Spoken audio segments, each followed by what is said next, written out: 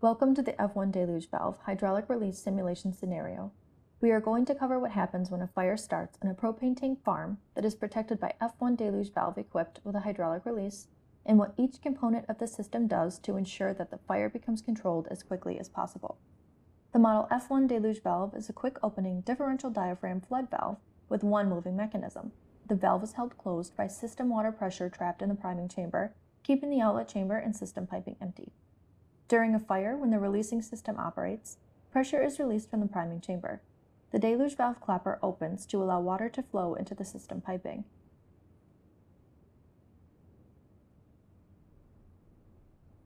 The prime line directs water to the prime chamber of the deluge valve. The prime line consists of an open priming ball valve, a Y strainer, a restricted orifice, and a check valve.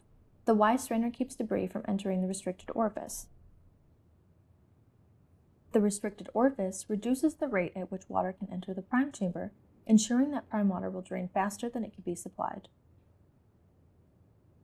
The check valve only permits water to enter the priming chamber, allowing prime chamber pressure to be maintained.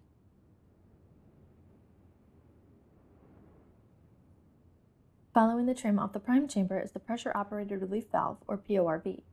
The PORV is a device that ensures the valve remains in an open state while water is flowing through the valve. When water from the valve outlet forces the push rod open, it will redirect prime water out to the drain cup, keeping the prime chamber from pressurizing until the water supply control valve is shut. The Viking BK800 is a fixed temperature release that is installed along a pilot line to activate deluge and pre-action systems. It is available in a range of finishes and temperature releases to suit various applications. Due to its specialized design, it has spacing advantages over standard sprinklers in several situations. In a scenario where a fire has started in or near the storage tanks and the heat increases, BK800 fixed temperature release activates, releasing water pressure from the pilot line.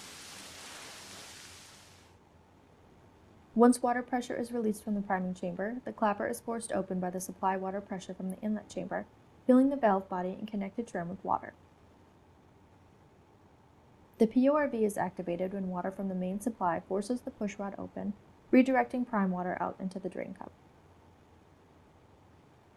Simultaneously, water will also fill the trim leading to the water flow alarm, causing it to activate, alerting its connected monitoring device such as the security panel or fire alarm panel.